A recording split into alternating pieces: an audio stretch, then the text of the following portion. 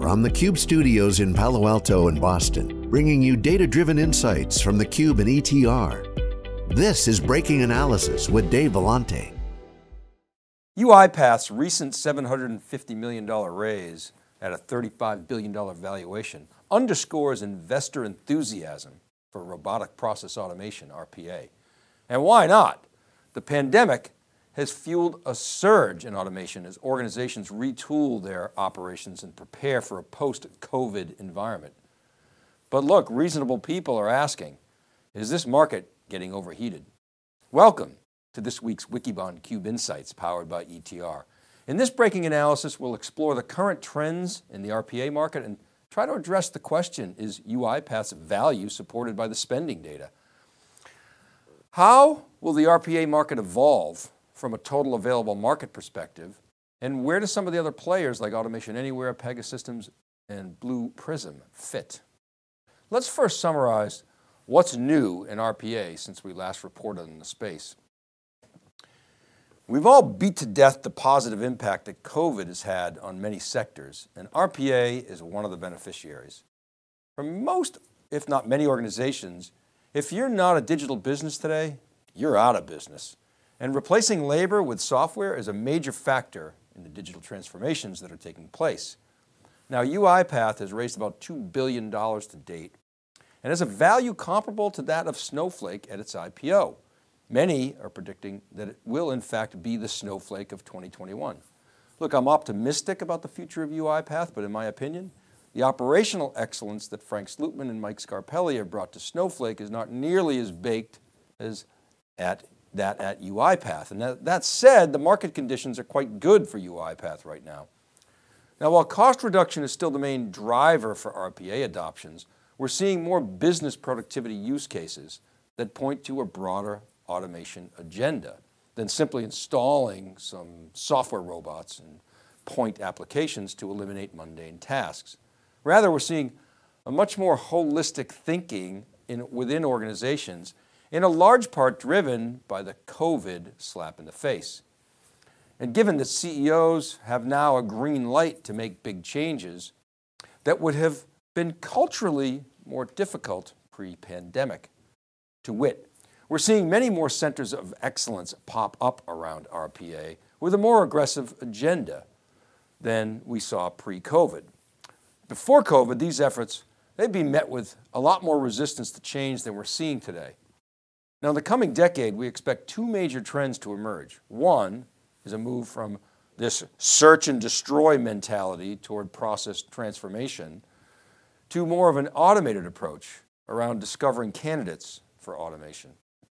Second is low code implementations are likely to lead the rise of the so-called citizen developer. Now capabilities in this regard today are nascent within most products, but we believe they will improve steadily over the next several years, years and lead to the democratiz democratization of RPA. So the big question is, are we in an RPA bubble or is this really the next big thing? This chart depicts our attempt a while back to assess the total available market for robotic process automation. And there are a few important points here. First, our effort was somewhat narrowly focused on RPA tooling, but we did try to take into account a broader automation agenda across enterprises. We tried to size the move from back office to front office to enterprise-wide automation efforts leading to this buzzword that ultimately Gartner created called hyperautomation. Now when we first published this chart, we got feedback that we were too conservative. And so, you know, we've thought about what could we be missing? And that's depicted there in that red big question mark. We got to do more work on this, but looking at the global automation market, we see a multi-hundred billion dollar opportunity. However, that largely focuses on industrial automation versus replacing human tasks with robots. Process automation is a much smaller piece of that pie. And overall, these larger figures, they also include drones, autonomous vehicles, and other innovations that RPA may or may not address. Is it possible that there's an order of magnitude greater opportunity for RPA than we initially thought? Well, here's another way to look at it. RPA generally is targeted at larger organizations, which can justify the investment with faster returns. According to, Fortune magazine, the 500 largest companies in the world generate more than 30 trillion in revenue. Is it unreasonable to assume that they could spend 1% of revenue on RPA? We don't think that's crazy, so there very well could be a TAM of hundreds of billions of dollars for this market. We would say, however, to attack that opportunity, point RPA tools won't get you there, but automation platforms very well could. In fact, that better be the case because with a $35 billion uh, valuation pre-IPO, UiPath and its peers will need a massive, massive market to justify those investments. So we'll keep digging into that expanded opportunity to see if it holds water. Now, another way to look at the opportunity is to look at the spending data. So let's do that and bring in our ETR friends to that discussion.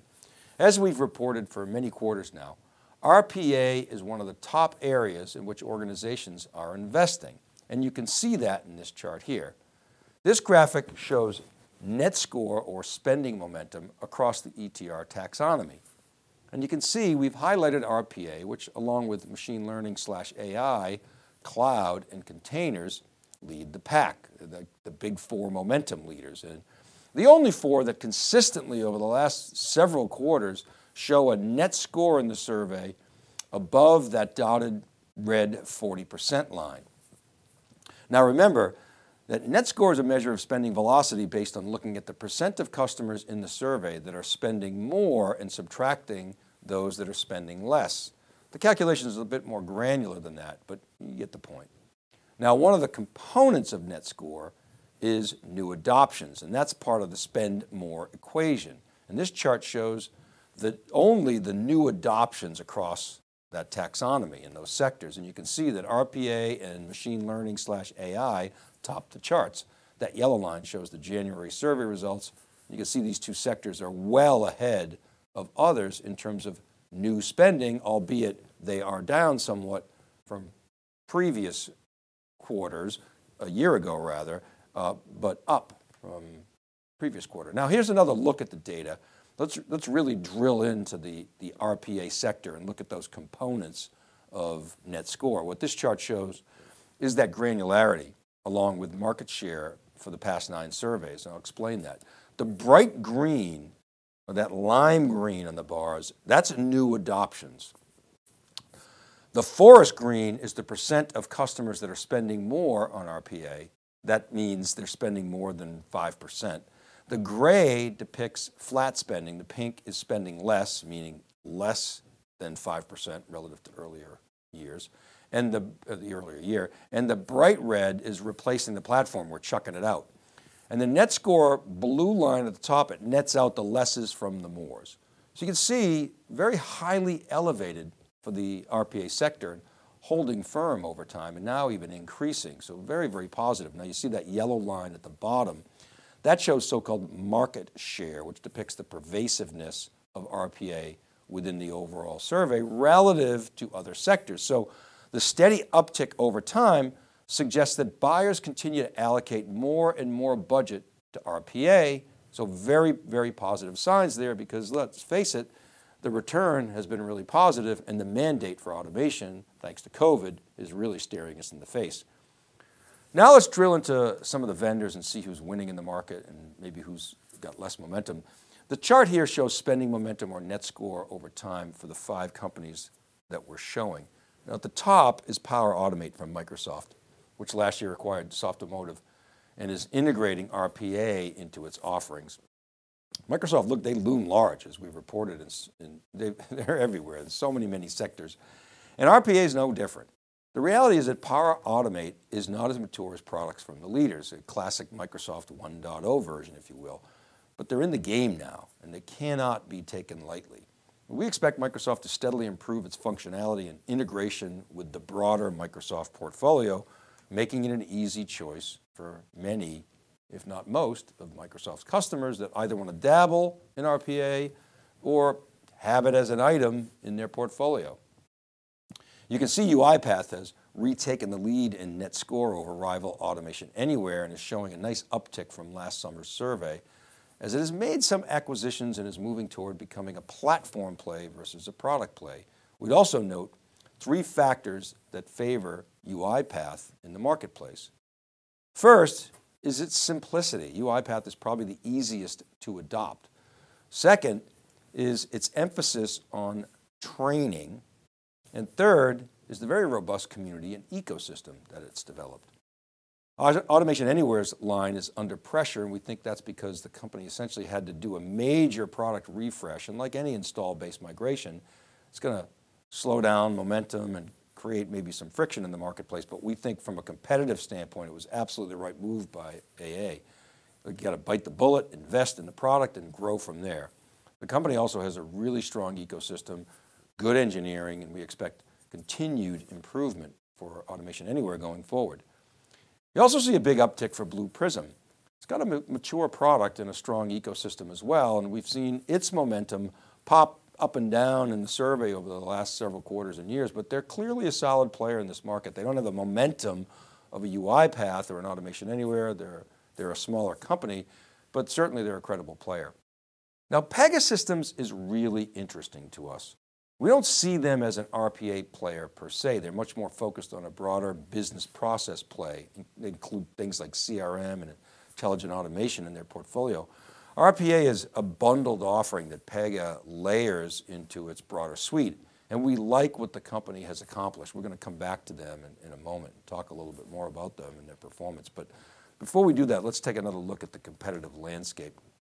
This view is one of our favorites. It's that, it's that XY view. So, so we're plotting net score on the Y axis and market share or the pervasiveness within the survey on the x-axis. And you can see UiPath is, they're literally off the charts in the upper right there with, because Microsoft looming large with its very strong presence and, and fast adoption of Power Automate. But Microsoft UiPath, Automation Anywhere, and Blue Prism, they all have shared Ns or mentions in the survey of more than 50 and net scores over 50%. So those stand out to us above the rest with UiPath as the leader, combining both the most significant market momentum and product excellence, notwithstanding Microsoft's presence. Again, Microsoft, they're Microsoft, and we'd be foolish to minimize their, their presence in the marketplace.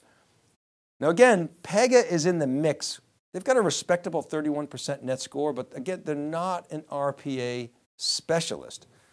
And their strategy is paying off in our view. The RPA froth combined with Pega's history, its vision, its solid engineering culture and execution are paying off for the company, as you can see in these charts. So there's charts. So what we're showing here is a graph of Pega's stock price over the last five years.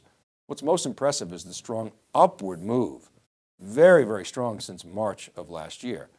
Pega's a billion dollar company been around for a long time, but it's growing, it's moving, it's shifting into a subscription model. So it's going through that process of communicating that to Wall Street and I think doing a very, very good job of it. As it transitions, it's transitioning to a recurring revenue stream. That's going to have a much more predictable cash flow and profitability impact on the company. And you can see its valuation, it's at 12 billion, it's about 12X revenue.